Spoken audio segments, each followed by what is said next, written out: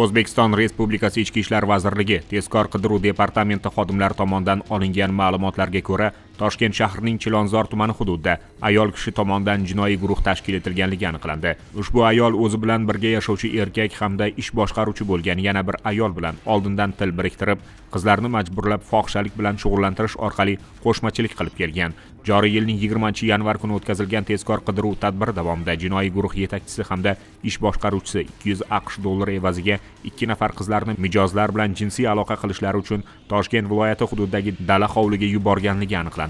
Ish boshqaruvchi ayol 200 aqsh dollari evaziga yana ikki nafar qizlarni mijozlarga olib borib berayotgan vaqtida tadbir ishtirokchilari tomonidan qo'lga olinib tegishli tartibda hujjatlar rasmiylashtirildi.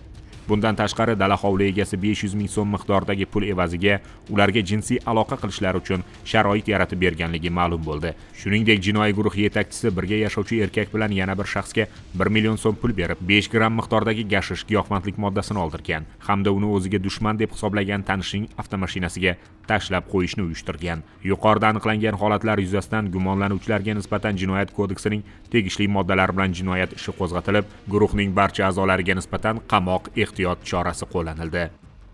Ikki yuz dollar chiroqni o'chirasiz orqasida har bir degan so'zi yozilgan mana o'zlaring ko'rib hozir ko'ryapti sizlarga shuni uchun tadbirlar natijasida toshkent shahrining chilonzor tumanida qizlarni majburlab fohishalik bilan shug'ullantirish orqali qo'shmachilik qilib kelayotgan jinoiy guruh faoliyatiga chek qo'yildi. Hozirda dastlabki tergov harakatlari olib borilmoqda.